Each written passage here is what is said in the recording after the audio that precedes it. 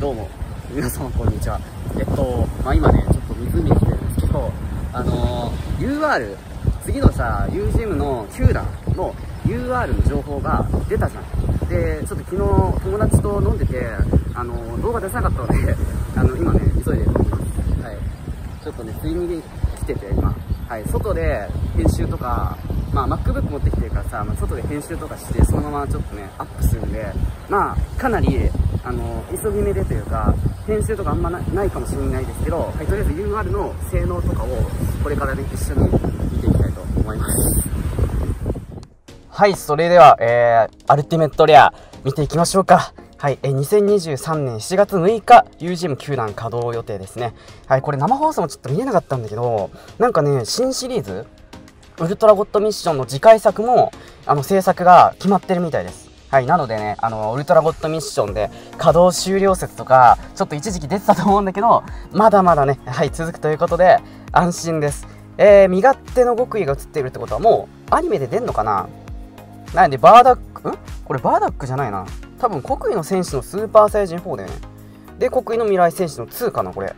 はい、ウルトラゴッドミッション9段。えー、じゃあまずもう、ね、いっちゃいますか、アルティメットから。はい、多分テイラリティでもそこそこ強いのいると思うんですが、はい、とりあえずはアルティメットレアからいきます。えー、こんな感じ。えー、っとね、マジで全くアビリティとか、まだね、見てないんだけど、強そうなのはこれ。これ絶対強いでしょ。暗黒王ドミから、何これ？見た目どうしたの？えー、っと、時の力解放。えー、マジで？これ何？アニメで出たやつ ?HP2100、パワー9800、ガード1000、ギガン、え？ギガンティックじゃん。ケイオティックギガンテス。ギガンテスってドラクエじゃん。はい、エナジー9。いや、すごいね、これ。暗黒を滑るをドミグラ。えー、バトル開始時、永続で記録ダメージを受けなくなり、両チームの時の牢獄の 発動を無効にする。なにマジで言ってんの？また牢獄封じ来たじゃん。また戦闘力バトル終了時に毎回、え自分以外の必殺技が発動できない仲間アタッカーがそのラウンドのみ受けるダメージが2倍になる代わりに与えるダメージが2倍なり記録を大幅に回復する。えー、っとねパッと見だけどまあ強いですよね。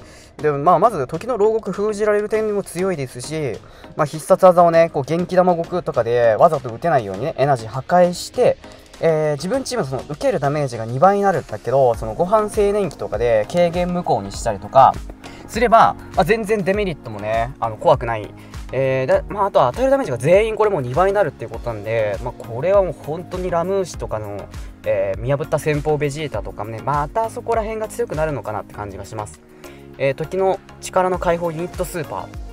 え、両チーム全員の必殺技をこのラノミに封印しダメージ軽減効果を永続で無効にするか。なるほど。あこれがあるんだったらまあ別に元気な悟空じゃなくてもいいね。はいマジンロベルとプティンとなってます。えー、ってことはマジンロベルをどれで使うかだけどまあ U ジムの6段のねあの高いマジンロベルでもいいんだけどうーんバーサーカーだからねこいつ。ちょっと連携できないのが難点か。でマジンプティンはまああのアルティメットの？マジンプティンで、まあ、普通にいいと思う。で、暗黒王の長期弾と、えー、パワー合計が高い、ん？待ってね、敵チーム全員のパワー合計が高ければ高いほどダメージアップ。えーとなってます。いやいや、マジでぶっ壊れでしょ、これ。どっから、どっからどう見てもぶっ壊れ。まあ、大幅記録回復もね、あるし、これはちょっといよいよピッコロ SH の、あれが危うくなってきたんじゃない？いやー、いいっすね。じゃあちょっとここからは1枚1枚見ていこうかな。はい、えー、っと、孫悟飯青年期。うわ、イラストがイラストがめちゃくちゃいいね、これ。あ、ここのイラスト使ってくるんだ。いや、昔これホームにしてましたよ。えー、貴様の相手はこの俺だ。毎ラウンド開始時、自分チームの HP が 敵チームよりも多いと、そのラウンドのみ敵チームのヒーローエナジーがアビリティによってアップしなくなり、戦闘力によって3個以上アップしなくなる。うんと、まず HP が高い方がっていうのが条件で、あ、体力2100か。まあちょっとそれは 相性的にかなり悪いですね。うーん、なるほど。いやー、どうかな、これ。でも、体力高いのね、状態を維持できれば、まあ毎回ね、えー、戦闘力で、戦闘力？ヒーローエナジーがアビリティでアップしない上に戦闘力だと3個以上アップしない。まあ3個だからね意外とその3個あれば、まあ、グラスバレット打てるし、まあ、時の牢獄発動できるし、なんとかなるんだが、うーん、まあ、マイランド発動されたらちょっとうざいね。で、えー、アビリティ封印キラーユニットって何？えー、自分チーム入れかのアビリティを封印されている仲間勢の記録は全回復し、必殺技が発動可能になる。えー、っと、いずれかのアビリティが封印されている状態。うーん、まあ、いよいよキーソード対策なのかな。もうわざと受けるみたいなね。わざとキーソード食らっちゃって、これユニット発動させれば、ね、もう逆にその1体分はね、失われるけど、その分ね、これでアドバンテージを取りに行くみたいな。で、強撃のトリプルアタックスーパー。えー、ガードマイナス2戦記録をダウンし、えー、ユニえーと、仲間2人がスーパーメンバーの場合は、えー、効果が超アップする。ん？仲間2人がって書いてあるけど、孫悟空しか書いてない。まあ、どうせ5テンクスなんだろうね。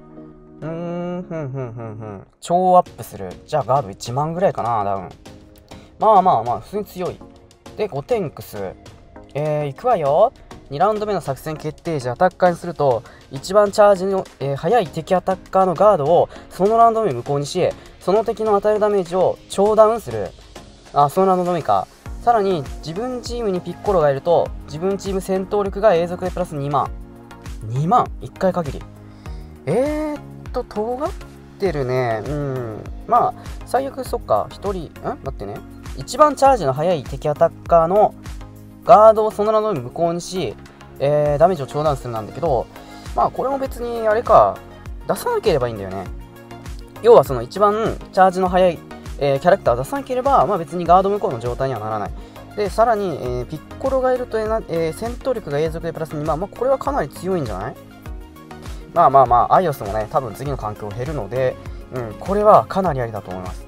で激突ウルトラブーブーバレーボールで、えー、転送ですね、はい、激闘の絆エナジー8個以上でダメージ超アップ軽減効果は永続で無効にするという、はい、感じで、まあ、アビリティとのシナジーもあってなかなかいいですねお天気はいいよいよ7000制限の出番かな。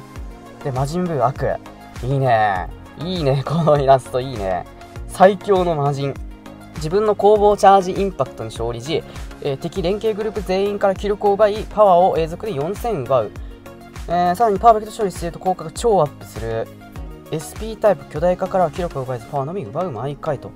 えー、っとねどうなんだろう？記録を奪いでパワーを永続で4000奪う。まあ全員か。うーん。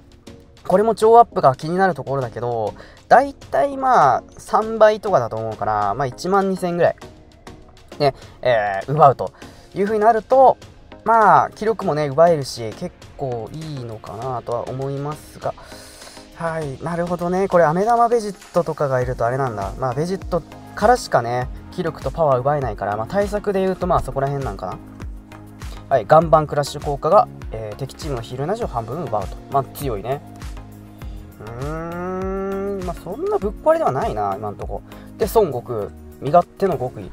えー、力の抑制。アタッカーにした作戦決定時仲間アタッカー人数3人以下で仲間の記録を大幅に回復する。または敵アタッカーの数が仲間アタッカーの数より多いとパワー1万2000以上の敵全員のパワーをその名のみ6000にするこの効果は人数差が多ければ多いほど効果がアップするえー、っと、まあ、仲間アタッカーを3人以下の状態にしないといけないっていうのはかなり難しくて現状やっぱりアタッカーをこう多めに出すっていうのがね、まあ、今のヒーローズの戦い方みたいなえー、ところで、まあ、ヒルデガーンとかを入れてね、まあ、そのアタッカーの人数をそもそも減らす。で、サポーターで機能する国技の選手とか、えー、あと、まあ、ご飯の SR とか、ああいうカードを入れて、まあ、なるべくアタッカーを3人以下にするっていう感じになりますね。うん、で、敵アタッカーの数が、えー、多ければ、ん？多ければ多いほどってこと？ああ、なるほど、なるほど。1万2000以上敵のパワーをそのまま飲む。まあ、6000ってどうなんだろう。いや、もっと欲しかったな、これ。3000でもよかったんじゃね？いや、6000ってだって意外と火力出るよ。で、えー、英雄の覚醒サイヤバースト。えー、っと、2ラウンド目がアタッカーにすると攻撃時覚醒可能。覚醒に変身する、成功すると変身し、敵にダメージを与え、えー、この攻撃で当たるダメージがサポーター ×2000 アップ、自分のパワーガードプラス5000。うーん、あ、なるほどね。じゃあも悟空をこう、1枚出ししたりすればかなりいいのかこのアビリティとね相まってなるほどいやこれは強いなだって2000だから1万2000ダメージサポーター6人すると上がるってことでしょ？でパワーとガードも永続プラス5000まあ強いて言うとね気絶するっていうところなんで、まあ、国威の選手はま必須。えー、であとは何がいいかな、まあ、ヒルデガーンもいいね。ヒルデガーンだったりとか。あでもあいつ SP だからサポーター人数にならないのか。まあちょっと面白そうですね国はい必殺技が乱舞撃滅。木田進化の技かな？多分。で国威の戦士かっこいい。スーパーセージ4あなんかえ？イラストなんかあれじゃね？初代のシークレットのバーダックとほぼ一緒じゃね？これ。1800、8500、1000いやーついに国威もスーパーサイジ4まで来たか。っていうことはもうこの後限界突破とかするのかな？時に導かれし国威の戦士。戦闘力バトル終了時仲間アタッカー全員の気力を回復しそのラウンドのみ気力ダメージに強くなる。さらに仲間アタッカーに悟空がいると効果が3倍になる？え？えこれめちゃくちゃ強くない？いやこれ今までで一番強いでしょ。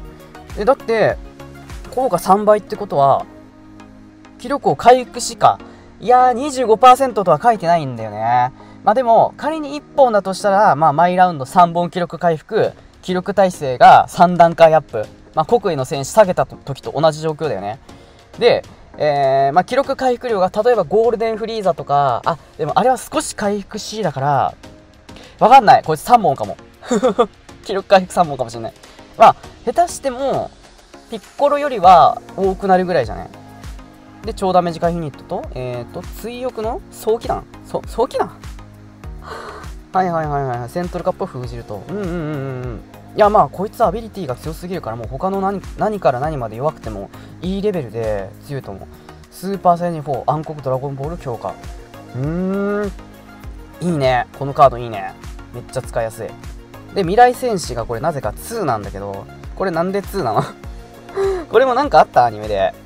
アニメで何かあったんかな？時に導かれし国威の未来戦士、えー、作戦決定時自分と同じエレンの列にいる仲間勢のパワーとガードでプラス、えー、敵アタッカー人数かける500アップ？ん ?500?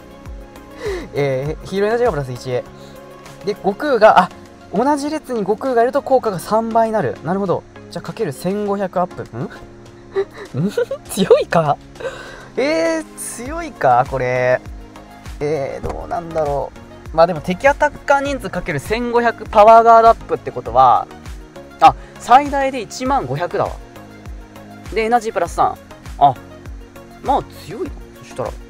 でも自分と同じ列にいるだから、まあそうですね、1列に3あの3000エリアにね全員並べたり、2000エリアに全員並べたりしないといけないのが、まあちょっとつらみですね、はい、さばきが若干ね、あのー、固定されてしまうというか、はい、で、ドミグラ、あとはキャンペーンかな。ちょっと充電やばいからちょっとこの辺りにします。はい、MacBook の充電があと20%しかない。あー、かっこいいな、これ。ゴッドとか。え、何これ？やばくね？え、UR か、これ。あ、アルティメットなの？何これ？めっちゃかっこいい。悟空の挑戦、懐かしい。懐かしの悟空の挑戦。あらららら、全部アルティメット？何キャンペーンだ？キャン、キャンペーンっていうか、これ、これ何？すごくない？あ、覚醒時のベジータとか言うし。わ、これはね、シークレットにしてほしかったな。はい、以上です。とりあえず、え今回はちょっと、えー、ざざっとね、ご紹介させていただきました。えー、次の段のね、アルティメットリア、かなり強そうな感じのカードが、えー、いっぱいあって、ちょっとね、めちゃくちゃ楽しみです。まあ、とりあえずこの中で一番いいなって思ったのが、まあ、国威の戦士ですかね。はい、これはすごい使いやすそうで、であとは、まドミグラ。はい、こいつも化け物ですね。はい、こいつ化け物。ちょ今回ランク付けとかさいろいろやりたかったんだけどちょっと余裕ないのでまあちょっとこれだけにはなっちゃいますがまあ普通にこのねバーダックとドミグラに関してはまあゴッドランクまではいかないかもだけど S プラスぐらいの性能はあるんじゃないかなっていうふうに個人的に、えー、思いました。ということで、えー、今回ねもしよろしければチャンネル登録高評価などよろしくお願いいたします。ご視聴ありがとうございました。今日のノアチャンネルは終わり。また見てね